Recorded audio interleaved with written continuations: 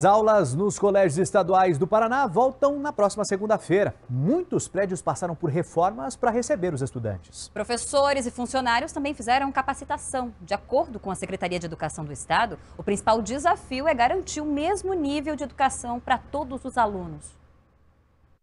O Colégio Estadual Guido Straub, em Curitiba, passa por obras desde dezembro. Entre as melhorias estão limpeza de calhas, troca de telhas e pintura nas salas e laboratórios. O muro do colégio também está sendo reconstruído. De acordo com a Secretaria de Estado da Educação, 1.900 colégios da rede estadual passaram por algum tipo de intervenção no último ano. Cada unidade recebeu recursos de 50 ou 100 mil reais para obras e outras melhorias. A gente investiu praticamente 93% das escolas em algum tipo de intervenção.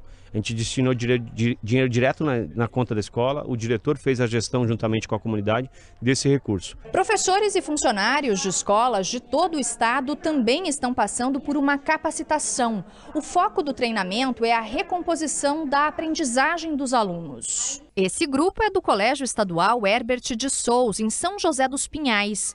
O diretor destaca que o reforço para os alunos será planejado conforme as necessidades de cada um. O professor, quando ele percebe que um aluno está muito defasado em, em aprendizagem, ele encaminha para a equipe pedagógica, que daí encaminha esse aluno para a sala de mais aprendizagem, para que também o aluno ali comece a retomar os conteúdos e né, aprender mais. O ano também começa com ampliação no número de escolas cívico-militares. Começamos o ano de 24 com 312 escolas cívico-militar, ou seja, são mais escolas cívico-militar, este modelo aprovado pela sociedade paranaense, e além disso a ampliação das escolas em tempo integral passamos para 412 escolas em tempo integral. Um dos principais desafios é garantir que todas as escolas da rede estadual ofereçam o mesmo nível de educação para os estudantes. Se oferta uma educação de qualidade, primeiro, com os profissionais de educação, professores e professores servidores, com bom material pedagógico aos professores, fazendo a verificação, avaliações